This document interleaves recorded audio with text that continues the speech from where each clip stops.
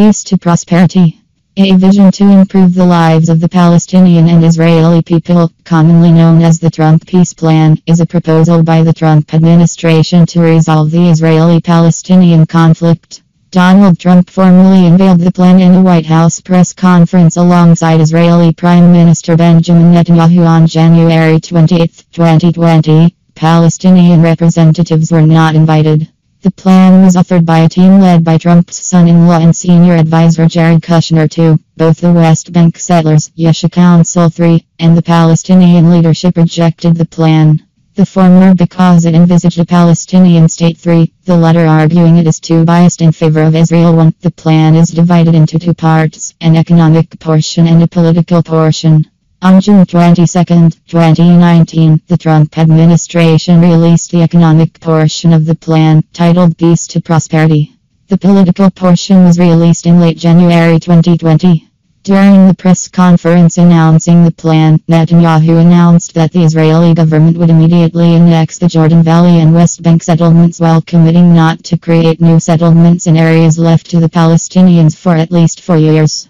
US Ambassador to Israel David M. Friedman claimed that the Trump administration had given permission for an immediate annexation, stating that Israel does not have to wait at all, and we will recognize it. The Likud spokesman tweeted that Israeli sovereignty over settlements would be declared on the following Sunday. The Trump administration clarified that no such green light had been given. No decision would take place before new elections and a new government had been formed.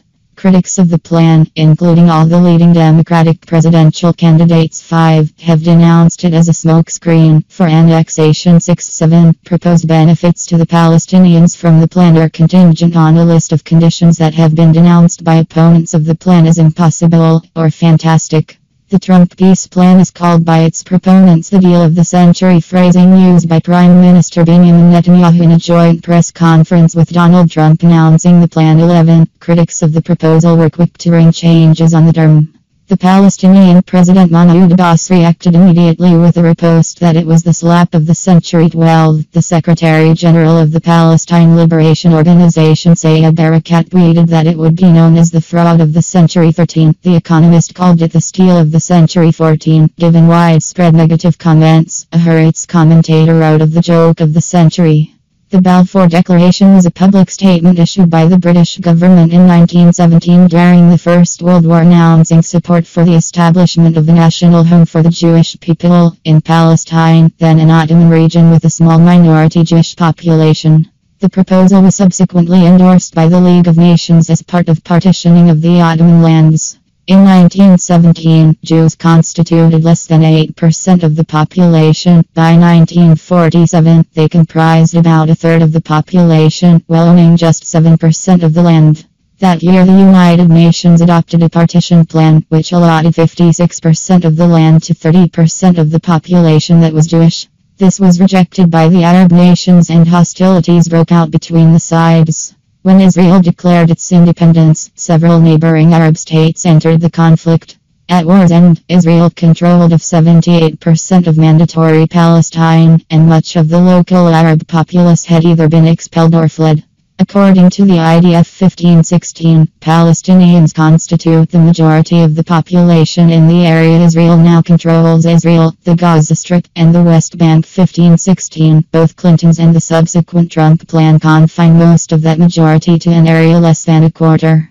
Development of the plan began in November 2017, led by Kushner, Chief Negotiator Jason Greenblatt, Deputy National Security Advisor Dina Powell, and Ambassador David Friedman 35, Kushner, a property developer married to Trump's daughter Ivanka, had no prior experience of diplomacy. 1436, asked the parties not to talk about history, and reportedly never discussed his plan with the Palestinians. 37, according to Peter Beinart of Jewish Currents. Another key participant in drafting the proposal was David Friedman, who became Trump's ambassador to Israel after representing his bankrupt casinos. 38, had close ties to the Israeli settlers in the occupied West Bank, compared Jewish American critics of Israel to collaborators with Nazism and was skeptical about the idea that Palestinians should have the state 37. In December 2017, Trump recognized Jerusalem as Israel's capital.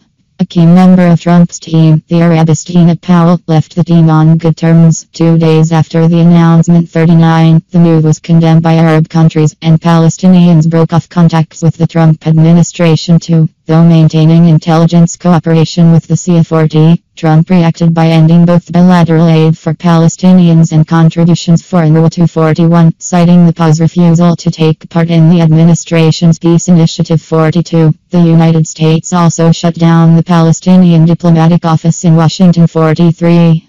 In February 2019, Kushner and his personal advisor Berkowitz flew to Oman, Bahrain, Qatar, the United Arab Emirates, Turkey and Saudi Arabia in order to unveil their closely guarded Plan 44. Qatari Foreign Ministry spokeswoman Lul Qatar gave no indication that the meeting had provided much detail regarding the political Plan 44. Jason Greenblatt played an important role in Trump's March 25, 2019 acceptance of United States recognition of the Golan Heights as part of Israel was thereafter shunned by the Palestinian Authority 45 in the Palestinian view. Friedman, throughout his two years of engagement, acted as Israel's spokesman, a country he would never criticize, while he would frequently lambast the Palestinian side on his Twitter account 45. In April 2019, Greenblatt said that plan does not call for a Confederation Model 46, or for a transfer of land from Egypt's Sinai Peninsula to the Palestinians 47. When asked in June 2019, Greenblatt said that the Trump plan will include a resolution to all of the core issues, in including the refugee issue,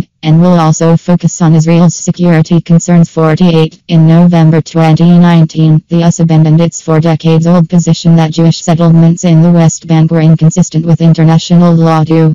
According to Israel Kasnett of the Jewish News Syndicate, the U.S. policy changes between 2017 and 2019 are described by East experts and Israel advocates as a paradigm shift 49, while Jane Kinninmont writing for Haaretz says that the all-new economic peace approach has been tried before and doesn't work 50. When the plan emerged, Yehuda Shaul argued that, far from being an unconventional approach that broke with tradition, the proposals were actually remarkably similar to the details set forth both in the Drobles plan, written for the World Zionist Organization, and published over 40 years earlier. In 1979, entitled Master Plan for the Development of Settlements in Judea and Samaria, 1979-1983, and key elements of the earlier Allon Plan 51. The aim of the Drobles plan was to ensure Jewish settlement in the Palestinian territories while blocking the possibility that a Palestinian state could ever emerge. In late June 2019, the economic plan was unveiled at a U.S.-led Peace to Prosperity conference in Manama, Bahrain. The Palestinian leadership boycotted the entire event 52. According to Bess Levin, writing for Vanity Fair, the whole conference was penned by experts, citing one who described it as the Monty Python.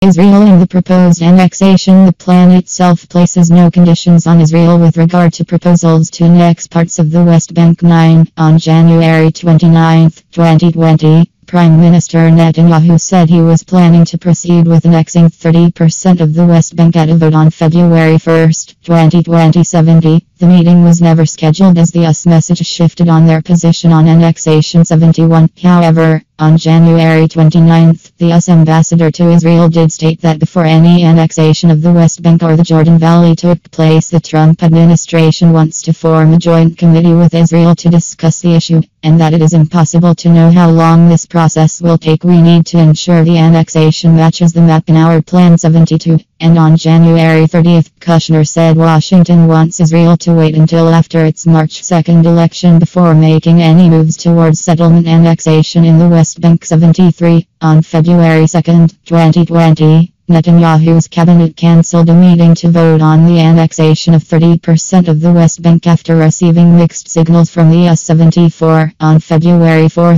2020, Israeli settler leader David El-Hayani, the chairman of the Yesha Council, said Kushner took a knife and put it in Netanyahu's back. The settler leader said a senior U.S. official told them that if the Palestinians did not agree to the plan within 48 hours, Israel would be permitted to annex more than 30% of the West Bank 75, responding to Israeli Prime Minister Benjamin Netanyahu announcing on February 8 that his government had begun to draw up maps of land in the occupied West Bank, in accordance with US President Donald Trump's proposed peace plan. Ambassador Friedman indicated that any unilateral action in advance of the completion of the committee process endangers the plan and American recognition 76. On 15 February, the membership of the committee was announced. It includes Friedman, his policy advisor Ariel Lightstone, and Scott Leith, a National Security Council expert on Israel. Israeli members include Tourism Minister Yariv Levin and Israeli Ambassador Ron Dermer. No deadline for the conclusion of deliberations has been set 77.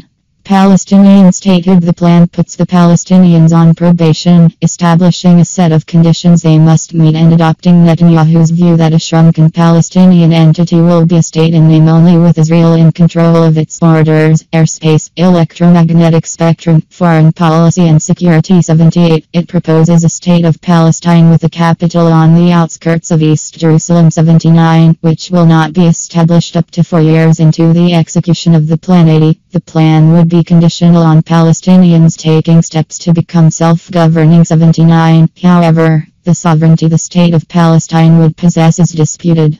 Many argue the Trump plan creates a Palestinian state with only limited sovereignty 438182, while others argue the state would not have sovereignty 8384. Israeli Prime Minister Netanyahu said the proposal gives Palestinians a chance to achieve conditional, limited sovereignty 85. The Jerusalem Post argues sovereignty of Palestine would be limited as Israel would retain full security control 86. Israel would also control Palestine's borders and airspace 87. The Palestinians must disarm the governing authority of the Gaza Strip, Hamas, together with Islamic Jihad movement in Palestine and all Palestinians under their authority 78, recognize Israel as a Jewish state. 78, refrain from any attempt to join any international organization without the consent of the state of Israel. 88, take no action, and shall dismiss all pending actions against the state of Israel, the United States and any of their citizens before the International Criminal Court, the International Court of Justice, and all other tribunals 88 take no action against any Israeli or United States citizen before Interpol or any non-Israeli or United States as applicable. Defense and border regime The state of Palestine shall be fully demilitarized and remain as so 107. The State of Israel will be responsible for security at all international crossings into the State of Palestine 108. The State of Israel will continue to maintain control over the airspace and the electromagnetic spectrum. The Israeli Navy will have the right to block prohibited weapons and weapon making materials from entering the State of Palestine. The State of Palestine will not have the right to forge intelligence or security agreements with any state or organization that adversely affect the State of Israel's security, as determined by the State of Israel 108. Status of Jerusalem, Palestinian capital, and holy sites main article. Status of Jerusalem The plan affirms Israel has a right to the entirety of undivided Jerusalem, recognizing it as Israel's capital 109. The plan does accept a Palestinian capital for a future state of Palestine to be located outside and east and north of the separation barrier in that part of East Jerusalem encompassing Kfar Akkab and the eastern refugee camp of Shafat and Abu Dis 4397. Martin Indyk described the Palestinian portion as only a sliver of East Jerusalem 94. It would bear whatever name Palestinians decide to call it, perhaps Al-Quds 110. According to Dubeson, designating such a site as Jerusalem involves a semantic game 22 a fragmented entity across several neighborhoods that are miles apart from each other, separated by Israeli communities and major roads, and share little in common 111-112. Abu Dis is variously described as a decrepit, lawless enclave 111, a gang-ridden Salon 112, or a grim neighborhood 14, with a single main street and higgledy-piggledy alleys shooting off at strange angles 111, abutting a hulking concrete separation barrier, on the other side of which lies Jerusalem and its distant holy sites 14. The plan puts the Haram al-Sharif slash temple now, including Al-Aqsa Mosque 94, under Israeli sovereignty. While in one part it states that the status quo there will be maintained 43, elsewhere it appears to envisage major changes to the status quo by permitting non-Muslims, Jews and Christians to pray there.